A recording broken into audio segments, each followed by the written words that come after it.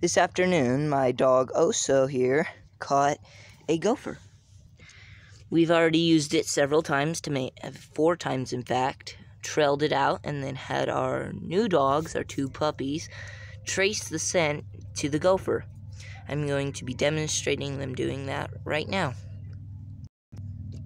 After I wipe this gopher with this stick, so I can show them the scent, and then they have something to actually follow. Now we're going to trail it out to the spot.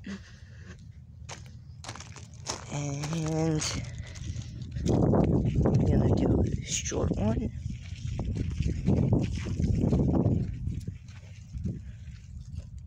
Just trail it out over here.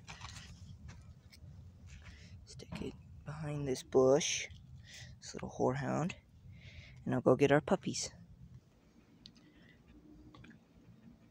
You can't lead them, Cody. You gotta stop. and- Search! Search! Search, boys! Search! Search! Search! Denali, search! Denali, Sika!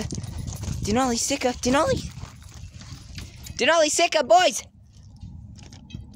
Boys! That's where I hit a previous one. Denali! Denali! Where is he? Search! Search! Search! Come on! Search! Search! Search!